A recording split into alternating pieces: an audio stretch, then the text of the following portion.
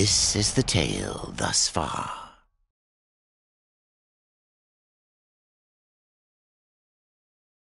Death travelled on, and still found corruption. The light and the Helgard both lost. But Izrafel's wisdom shone bright in the darkness, and cleared the way forward for all.